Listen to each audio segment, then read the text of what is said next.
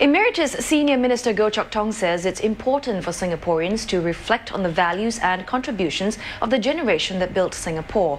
Mr. Goh spoke to the media after paying his respects to former Deputy Prime Minister and founding chairman of the People's Action Party, Dr. Toh Chin Chye. Mr. Goh says it is crucial for future generations to build on the edifice created by the old guard leaders and secure a better future for Singapore. He also says Dr. Toh never campaigned against the PAP despite his disagreement agreements with then Prime Minister Lee Kuan Yew over several government policies. He was critical of policies, maybe of uh, sometimes uh, policy of self-renewal, but plus other policies as well, but never actively, you know, uh, went out to campaign against the party. Whatever he said, even though they were critical comments, were actually meant from his point of view for the good of the country and the party.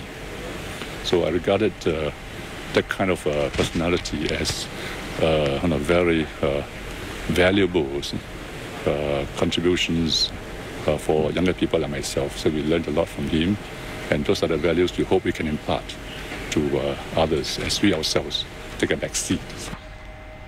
Members of Parliament who attended Dr. Toh's wake said more should be done to preserve his legacy so that young Singaporeans can better understand his contributions to nation building. Residents and grassroots leaders from the former Rochor district, where Dr. Toh Chin Chye served as MP for 29 years, came in droves to pay their last respects. We all remember him as a person who, have left, uh, who has left a legacy in our district. Even today, we have a benevolent fund for the poor and needy that is uh, dedicated to him. For others, Dr. Toh's critical views on government policies when he became a backbencher left a strong imprint on their minds. One that I could remember quite well was his argument against uh, uh, evicting uh, families who had uh, whose family member had had been convicted for um, uh, throwing litter, killer litter. Dr. Toh thought that uh, we should not punish all other family members because one person had done the damage. He always had a very uh, crit- critical way of looking at issues, and uh, he never hesitated to put his view across. Right. Um, however unwelcome the views were, he was prepared to speak out, which is important, you know. So his views, I'm sure, helped to shape policies, although he was a backbencher.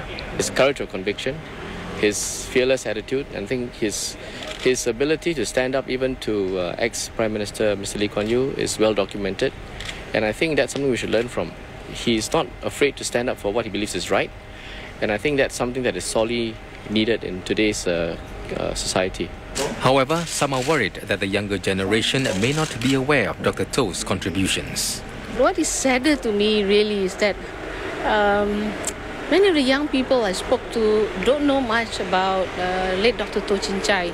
So I really hope that we can do something to so that our young will know him better as a person, his battles, his fights, in order to gain independence for Singapore. Tomorrow is the final day the public can pay respects to Dr. Toh at his Greenview Crescent home.